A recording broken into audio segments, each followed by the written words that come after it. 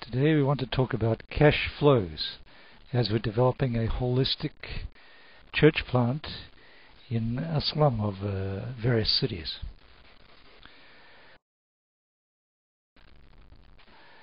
When we uh, move into uh, church planting in the slum, there are certain progressions, each of which needs to be capitalized. The first is the development of uh, a worker in the slums who pioneers and who builds a church planting team.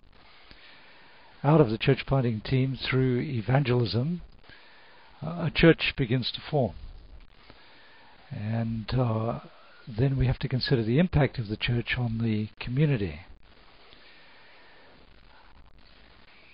The uh, church grows, discipleship occurs. The issue of land for a church building is a crucial issue. And then leadership develops, both elders and deacons.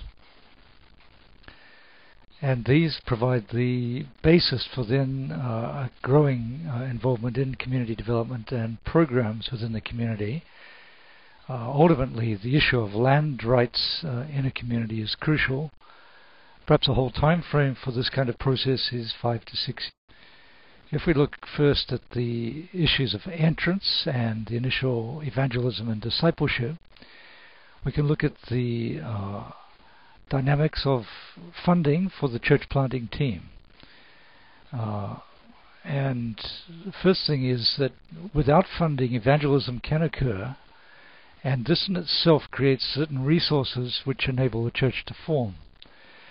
However, it's a lot easier if at the outset there is some capital um, which will fund at least the uh, the leader of the pioneer team.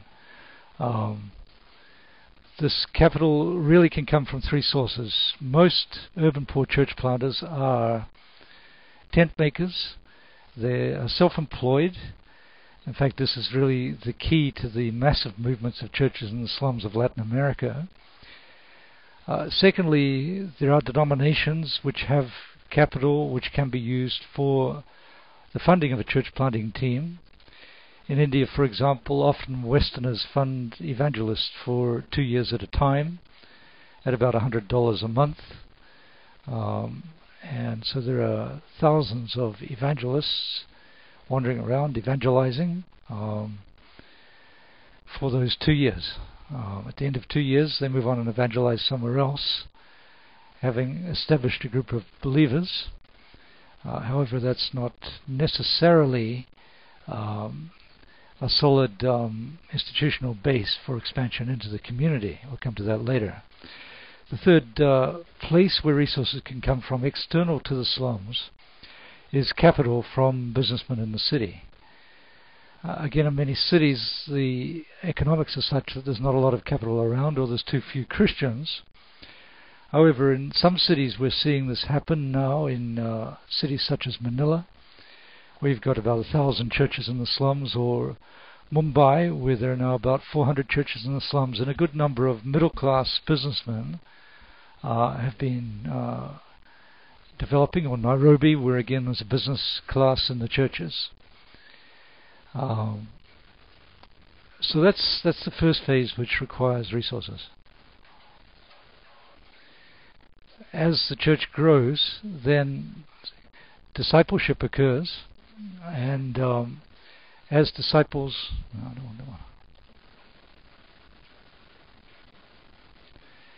as disciples um, are created or, or um, develop, they themselves uh, begin to improve in terms of their working patterns and hence their income, their disassociation from gambling and drinking, etc., also releases more funding. So as they tithe, this produces a certain amount of income for the church. Um, again, generally not enough to support a pastor. Uh, but it is enough for the church to minister to some of the poor in the community. It's not enough for a church building. Um, and so up to a church of 50 to 80, um, that's what generally happens.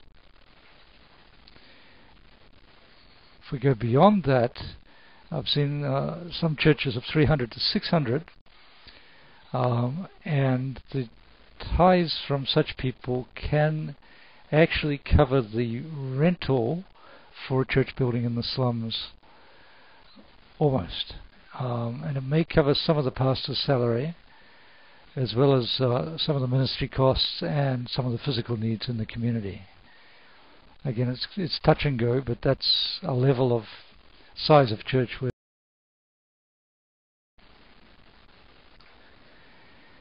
the crucial issue in there after that initial pioneering phase is the issue of land for a church building. Most slum dwellers, some churches are renting um, the building, and um, so while you have the development of healthy house churches for a while, uh, these do not survive um, very long uh, in the houses because the houses are poor. There's a lot of social pressure. It's a lot of pressure on poor families. Uh, people prefer to congregate in a building in a neutral place, be it a community building, a, a school, uh, and eventually what's needed is land for church building. So, despite the rhetoric of the last two or three decades about house churches, they are essentially effective evangelistically, they're effective pastorally in middle class communities where there are large houses, but they don't provide a basis for sustainable church in the slums. Uh, once the church has capitalized the buying of the land and some initial construction, uh, or once there's been enough capital to get the land, the church essentially can build its own structures. It might take them five, ten years to construct a complete church, but in the meantime, as they're building, they'll, they'll be using the property. And that's the way houses are built in the community as well, step by step as money comes in. Um, and the rent that has been paid out uh, can be used to continue to pay off any costs of construction, or as that is paid off, then the payment of the pastor and ministry costs. Um, now, there are difficulties with this because the slums are places of illegality, and yet, even within the illegality, there are rules within the slums as to who are the owners, uh, which allow some semi formal purchases. And often there is land also just outside the slum which can legally be bought in a location where the people from the slum uh, find it quite accessible. Uh, now, one way of doing this is to develop a is to develop a preschool or a primary school. Uh, the funding of a centre for such is a is a good investment of money. Um, it's relatively clean. It's quite difficult to be for it to disappear in corruption. Um, or the developing of a community centre in a, in a slum and so this is used during the week. Then on Sundays or during a weeknight, it can be used um, as the worship center. Um, there's a common fallacy that because evangelism can occur rapidly, then churches have been planted. What I'm saying here is that unless you move to uh, an institutional base for the church in the slums, it disappears. In Calcutta, the slums have been evangelized 2.4 times. The gospel has been preached, house churches have been formed. Today you can't find them. We have only a dozen, 17 actually, house churches in that city now, and they are sustained because of good pastoral structure and a linkage to a middle class church.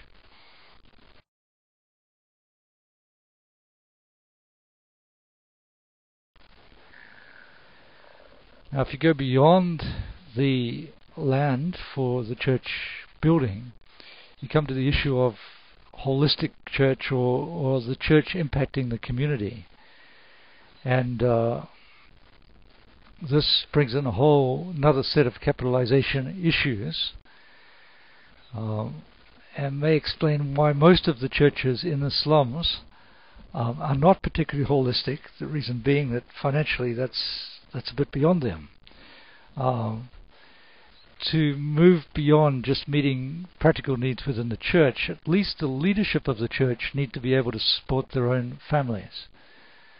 Um, the eldership and the deacons um, need to be self-sufficient, and if they are self-sufficient, that in itself will create enough ties to um, at least pay the rent and, and sustain the ministry of the church. The pastor's still working in a full-time job to support himself.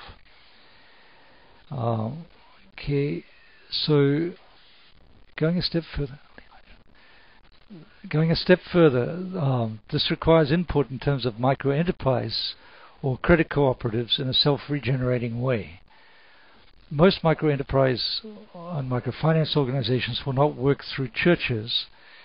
Uh, they won't work through the pastor, they won't work through the organization, but they will work alongside the church so that the leadership of the church can be uh, facilitated in uh, economic development. Um, and so, as this happens, as the members of the church begin to earn more and more income, then that creates uh, a certain amount of um, capital for uh, personalized individual um, community development programs to move that a step further um, requires foreign funding of a significant amount for the slums, um, or it requires outside funding from within the city.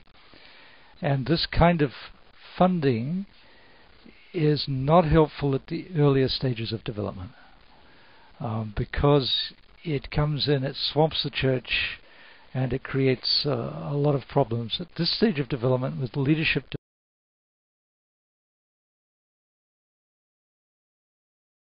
deacons having been developed, then it's feasible um, to bring in outside funding.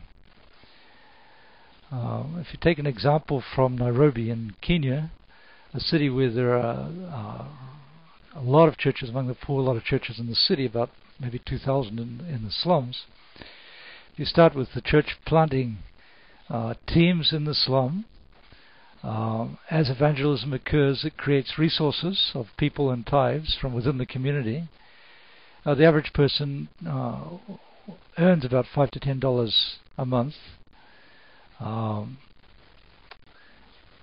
sorry, tithes about five to ten dollars a month out of about uh, a hundred dollars of to two hundred dollars of income.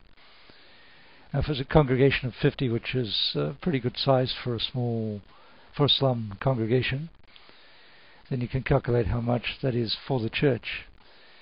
Uh, the difficulty is that only that 60% are un or underemployed. So um, the idea of these new converts funding a church is pretty difficult. Um, $65 a month from a denomination is about what it costs to sustain a church planter through this phase. And um, the idea of capital from within the city is an idea that hasn't really been tapped yet. Now, as far as the church building goes, if they rent the building, it costs about $5 a month. If they buy it, it's $2,000 for a small room 10 by 15, expanding each year, uh, perhaps uh, by one room. It's good to start right at the outset with a small room, it just helps the church growth.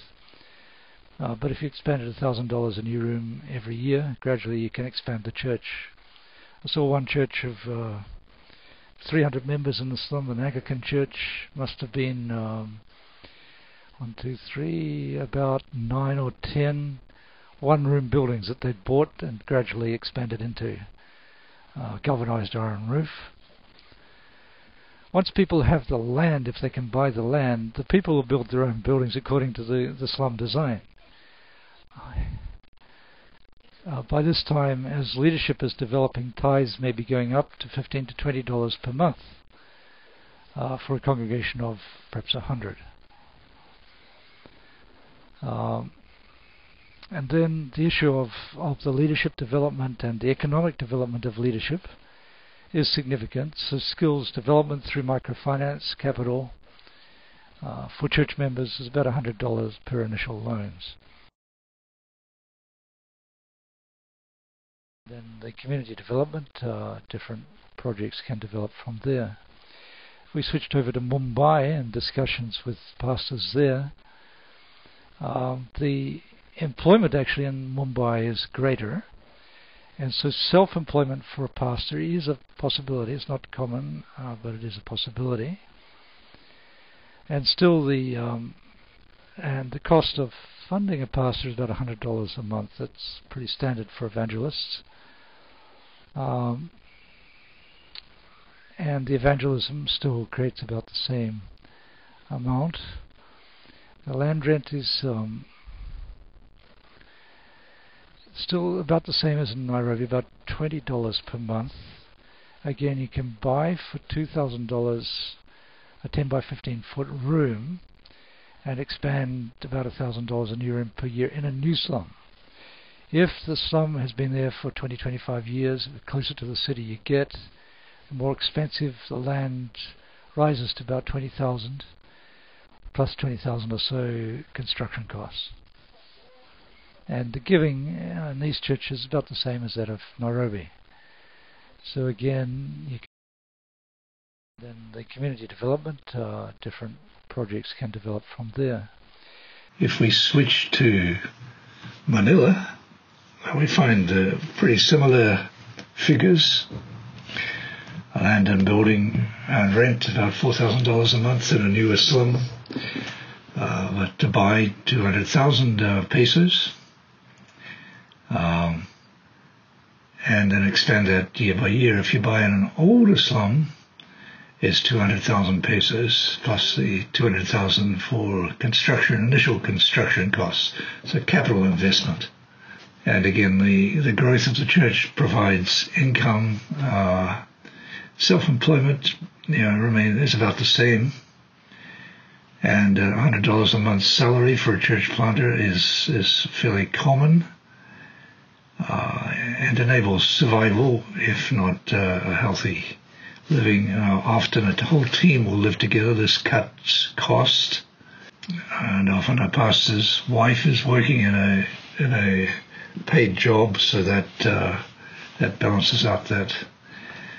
Um, and then you move to the community development, and that's where uh, capital, external capital, becomes important. Now, in all of this, what are we talking about in terms of time frames? Um, basically, from about five to seven years. Inappropriate funding, bringing in funding at the wrong time, um, destroys the human resource development.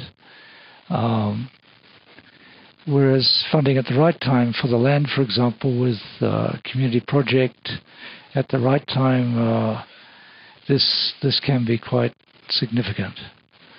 Um, and certainly funding for community development moves the church um, in those latter years from the fourth to the sixth year.